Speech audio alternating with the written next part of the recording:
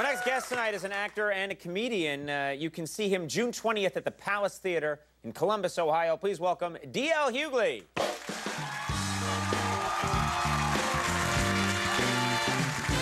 Thanks for coming. Back.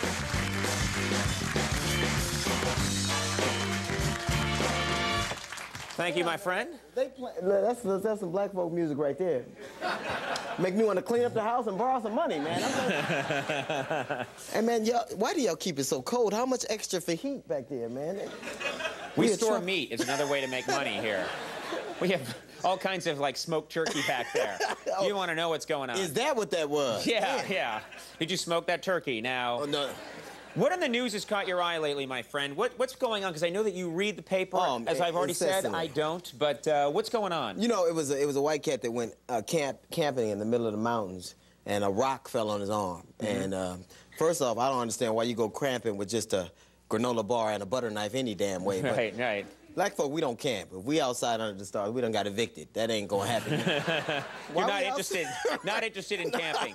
Why are we outside? Because the marshal said we couldn't go back in. That's why we outside. but he uh, cut his arm off, man, and I thought that was brave, man, because it'd have been a whole lot of options before I decided to cut my arm off. I, I'd Well, see if I can lose some weight and get skinny.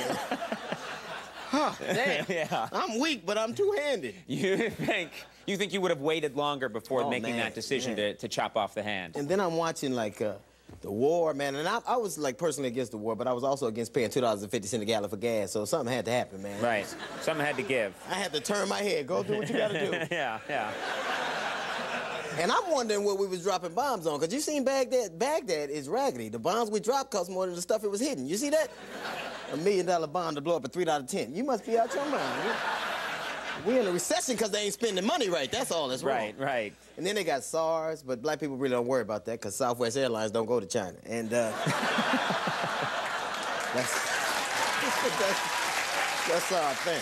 So it's not a concern. Mm. Not a concern. No, man. But you know we scared, man. You, stuff ain't really went good for black folks since we find out the sniper was black. That really messed us up, you know? Right, right. Because Not- we was at home just going, I know we ain't had nothing to do with this.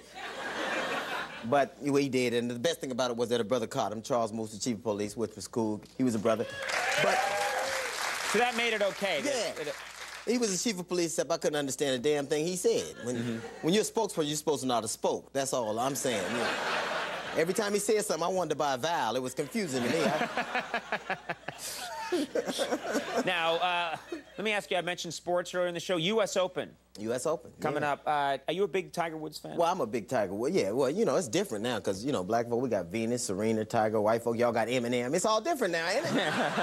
yeah. What happened there? I don't Yeah. know what happened. And, and Eminem. We got golf. You, I mean, you have golf, tennis. Right. We have rappers. right, right. And hard, gangster. And you know what? Eminem is a great rapper, and he's madder than black people. We sit at home going, damn, how he pull that off? Yeah. What are we gonna do? Yeah. It's, uh, He actually has built up more. I wonder how he did that. He's built up more I don't anger. know. Mm-hmm. We got- he grew up in Detroit. Yeah, yeah. So now, like Kid Rock uh, is from Detroit. Eminem. From, I'm wondering what all the black folk moved to. Where do we go? if you can, if we can't have Detroit, where we gonna go? I mean, that's pretty much it. yeah. They took that from you. right, right, right. Can't have yeah. nothing. How about your family life? I know you've got. How many kids do you have? I have I have three, and kids. Uh, I've been married for 17 years, and now my wife wants to adopt some kids, and I'm like, I just started liking these kids. Wait a minute. You're just starting to like oh them yeah, now? man, just Wow, that's kind I'd say in the last week or so, I've really, Really? Taken just kicked a shine to them. But she wants to adopt kids, which uh, you know, and I only like my kids because they're mine, and I know because I got them tested. Damn that. Come to the doctor, make sure your mama been telling the truth all this time. Where we going, Daddy? Don't call me that till the results come back. Yeah. Let's not be premature here. Let's get all the results. And you know, I respect you if you can adopt children because you got a lot, lot of extra love. I Right. don't. You don't. Just enough to cover them. I would tell an adopted child the truth. Do you love me? I don't even know you, man. now go get something to eat. Number four. Hurry up. We gotta number move this thing four. along. You can't even cough up a name. I love you, number four. Now, uh, you've talked before about your family, Uh-huh. and you said that your family, uh, I mean, your extended family, like your, your dad, and that they uh, kind of had, you know, the, when you when you did well in, in show business, Oh, yeah. that that they sort of maybe took advantage a little bit. Is that fair to no, say? No, they borrow money like everybody does. See, the deal is that you guys might know a lot of people with money. You know, black folk we probably know one, two, me. That's what all we know. Right. Like my father, I remember I called him at work. I said, Daddy, I got a TV show. He quit his job that day. That day. I heard him on in the background. Well, that's it for me. Damn this.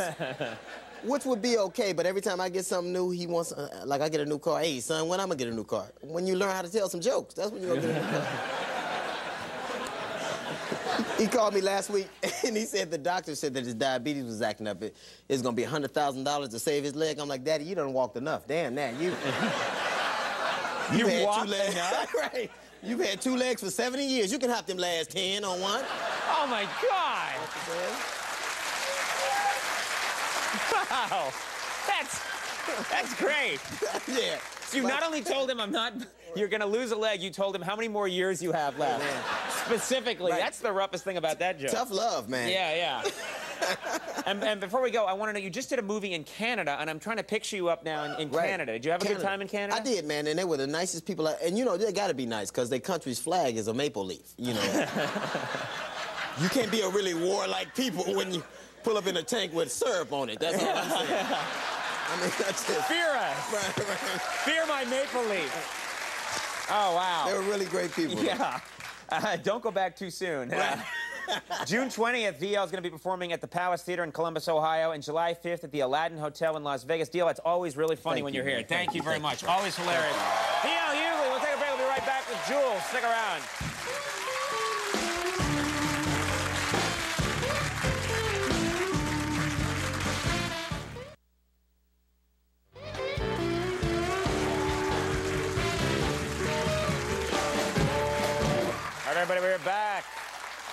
My next guest is an old friend of ours. She's here tonight with a song from her brand new album, 0304. Please give a great welcome to Jewel.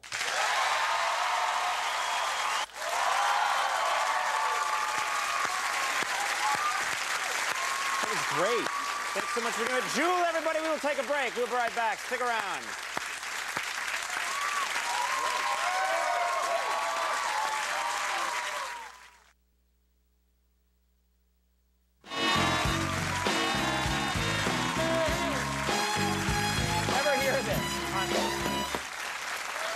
Uh, well, that is our show. Do want to thank all my guests. Uh, thank you so much, Jewel. That was great. Thanks for coming back. Always nice to have you on the show. 0304 is the album. Big thanks to D.L. Hughley for being here. Thank you, D.L. He's a good man. He's a strong man. Julianna Margulies, our thanks to her for being here. Jimmy Vivino and the Max Weinberg 7. Stay tuned for Last Call with Carson Daly. We'll see you tomorrow. Bye-bye.